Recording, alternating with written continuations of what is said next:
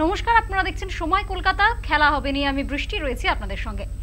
লা লিগায় ফের হুচুট খেল রিয়াল মাদ্রিদ। বৃহস্পতিবার গ্রান্ড ক্যানিয়ারের লস পালমাসের বিরুদ্ধে আটকে গেল কার্লে আস্তেলত্তির দল। খেলা শেষ হলো এক এক গোলে। এই নিয়ে এবারের লা লিগায় তিন ম্যাচের মধ্যে দ্বিতীয়বার ড্র করল লস ব্যাংকলোরা সব মিলিয়ে উত্তরণের সন্ধানে রিয়ালের বর্ষিয়ান কোচ। চলতি মরশুমে পিএসজি ছেড়ে রিয়াল মাদ্রিদে যোগ দিয়েছিলেন কিলিয়ান এমবাপে ফরাসি তারকা ফুটবলারকে নিয়ে অনেক প্রত্যাশা রয়েছে রিয়াল সমর্থকদের। উয়েফা সুপার কাপে দলের হয়ে অভিষেক ম্যাচে গোল করে আরও তা বাড়িয়ে দিয়েছিলেন বিশ্বজয়ী এই ফুটবলার।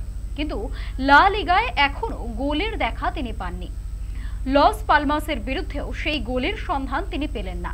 মোট নটি শটের মধ্যে মাত্র দুটি রাখতে পারলেন সঠিক লক্ষ্যে। ফরাসি তারকার গোলের মধ্যে না থাকার চিন্তা বাড়াবে রিয়াল শিবিরে। এই ম্যাচ অমীমাংসিত থাকার পেছনে কৃতিত্ব রয়েছে দুই দলের দুই অভিজ্ঞ গোলরক্ষকের।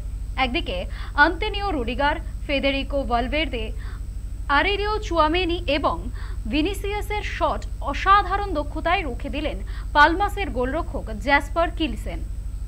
এমবাপের নেওয়া একটি ভালো শটও তিনি রুখে দেন। অন্যদিকে রিয়ালের অভিজ্ঞ গোলরক্ষক থিবু কুর্তোয়াও কয়েকটি অবিশ্বাস্য সেভ করেন। তবে দুই দলের গোলরক্ষককে একবার করে পরাস্ত হতে হয়। খেলা শুরুর পাঁচ মিনিটের মাথায় প্রতি আক্রমণ থেকে গোল হজম করতে হয় রিয়ালকে। পালমাসের আলবার্তো মলেইরা প্রায় একক দক্ষতায় গোল করে যান। সেই গোল দ্বিতীয়ার্ধে শোধ করে রিয়াল। উনসত্তর মিনিটের মাথায় বিপক্ষের এক ডিফেন্ডারের বক্সের মধ্যে হ্যান্ডবল করলেন পেনাল্টি পায় তারা। স্পট কিক থেকে গোল করে দলকে সমতায় ফেরাতে ভুল করেনি ভিনিসিয়াস জুনিয়র। এটাই এই মরশুমে ব্রাজিলিয়ান উইঙ্গারের প্রথম গোল। এই ড্রয়ের ফলে তিন ম্যাচে পাঁচ পয়েন্ট নিয়ে লিগ তালিকায় পাঁচে রিয়াল। লালিগার রিয়ালের পরের ম্যাচ আগামী রবিবার। রিয়াল বেতিসের বিরুদ্ধে নামবেন ভিনিরা। কিন্তু তার আগে দলের ফুটবলারদের ফর্ম চিন্তায় রাখবে কোচ আস্তেলিত্তকে।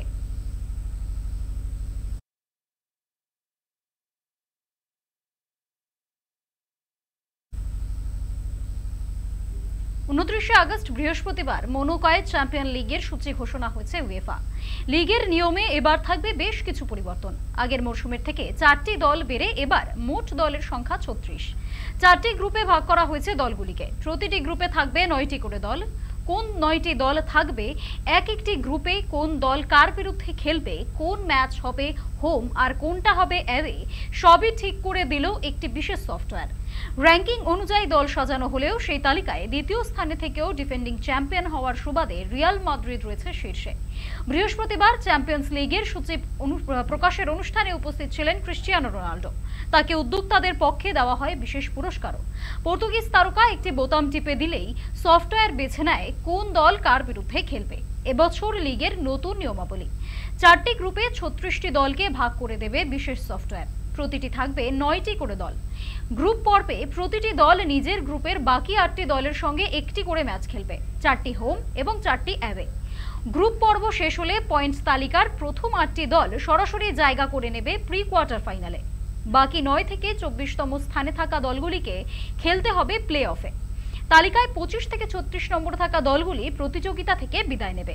এবার প্লে অফ থেকে জয়ী আটটি দল যাবে প্রি কোয়ার্টার ফাইনালে আগে থেকে উত্তীর্ণ আটটি দলের সাথে খেলতে। শুরু হবে খেলা, ষোলোই খেলা। নতুন প্রযুক্তি তথা নয়া নিয়মে ভরা দু হাজার চব্বিশ পঁচিশ মরশুমের চ্যাম্পিয়ন্স লিগ পূর্বের তুলনায় বিশেষ আকর্ষণীয় হতে যাচ্ছে বলে মত ভক্তদের একাংশের।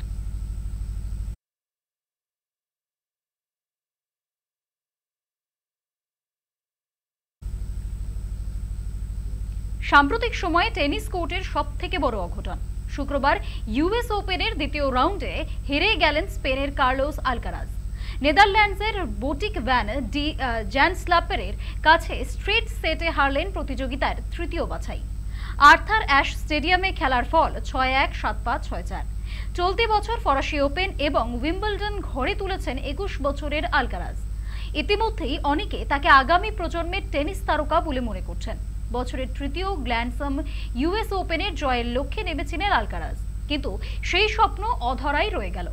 বিশ্বের চুয়াত্তর নম্বর বোটিকের বিরুদ্ধে দ্বিতীয় রাউন্ডে হারতে হলো তাকে। আলকারাজকে হারিয়ে বোটিক বলেন, আমার কাছে এই আনন্দ প্রকাশ করার কোনো শব্দ নেই। আমার জীবনের এটা একটা অসাধারণ রাত। এই স্টেডিয়ামে প্রথমবার রাতে খেলতে নেমেছিলাম। দুর্দান্ত দর্শকের সামনে খেলার অনুভূতি আলাদা। দু হাজার একুশ সালের উইম্বলডনে দ্বিতীয় রাউন্ডে হারের মুখ দেখেছিলেন আলকারাজ। তারপর থেকে এই প্রথম কোনো গ্র্যান্ড স্ল্যামের দ্বিতীয় রাউন্ডে হারলেন তিনি। অবাছাই ডাচ টেনিস খেলোয়াড়ের সামনে প্রথম সেটে দাঁড়াতেই পারেননি আলকারাজ। দ্বিতীয় সেটে কিছুটা ম্যাচে ফেরার চেষ্টা করলেও সফল হননি। খুব শান্তভাবেই শক্তিশালী প্রতিপক্ষের শটগুলি জবাব দিচ্ছিলেন বটিক। পঁয়ত্রিশটি নেট পয়েন্টের মধ্যে আঠাশটি জিতে নেন তিনি। শেষ পর্যন্ত ম্যাচ জিতেই মাঠ ছাড়েন ডাচ টেনিস খেলোয়াড়।